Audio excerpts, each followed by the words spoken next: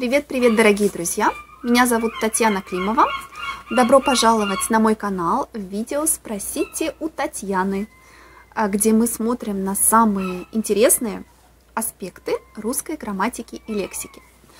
А для меня очень важно, пожалуйста, смотрите на моем сайте упражнения на перевод, транскрипции подкастов, PDF-книги и, конечно, мой клуб «Русская дача». Нас уже 500 человек. И сегодня вопрос от Габриэля. Спасибо, Габриэле, за этот очень интересный вопрос. А, разница между словами особый и особенный. Особый и особенный. Какая разница? Давайте посмотрим. Ну, во-первых, у этих слов иногда, иногда это синонимы. Эти два слова значат не такой, не такая, как другие вещи. Особый, особенный. Не похожий на других, не похожий на другие вещи. А, но у них тоже есть нюансы. А, потому что особенный есть еще такой нюанс, что это какой-то плюс, это что-то позитивное. И, например, особый, особый часто мы говорим, например, особый вид, особый сорт, особый цвет, особый вкус, особая форма. Например, мы можем сказать, мы можем сказать, это особый э, сорт роз. То есть это какая-то роза не такая, как все. Но особенный есть чуть-чуть нюанс, что это что-то хорошее, прекрасное, позитивное.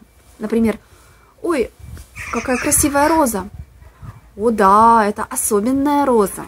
Это особенная роза. То есть в ней есть что-то хорошее, что-то позитивное. Особый это просто не такой, как все. И особенный есть что-то позитивное, что-то хорошее.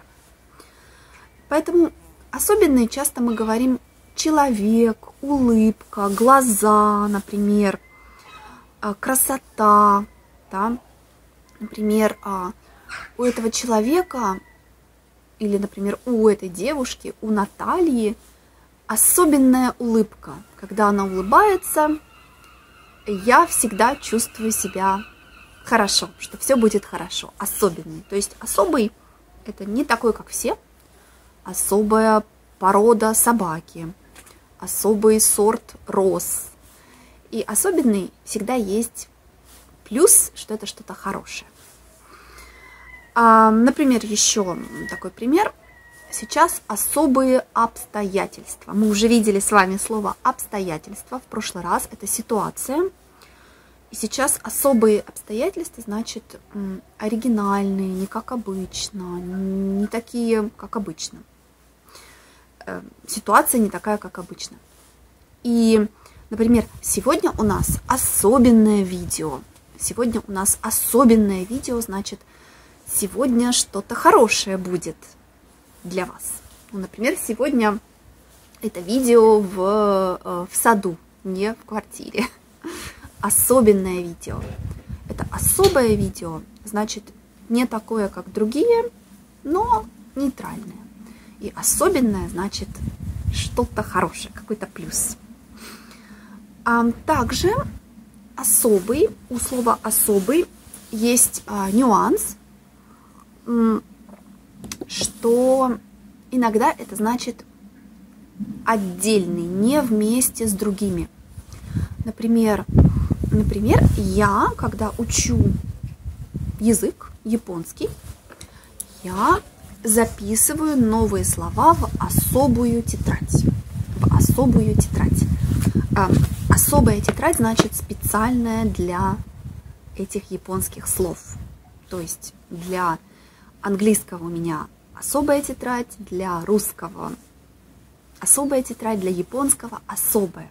То есть здесь особый значит а, отдельно, не вместе. Особый. Вот. Иногда это тоже могут быть синонимы. Иногда мы используем особый и особенный, когда это синоним, например, большой. Например, я посмотрел этот фильм без особого интереса. Или я посмотрела этот фильм без особенного интереса. Это значит без большого интереса. А этот фильм имел особый успех. Или этот фильм имел особенный успех, значит большой.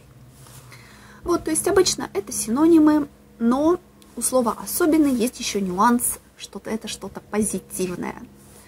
Я вам желаю особенно хорошего дня. Пусть этот день будет для вас особенным, особенно хорошим. До скорого. Спасибо, что смотрите. Пока-пока.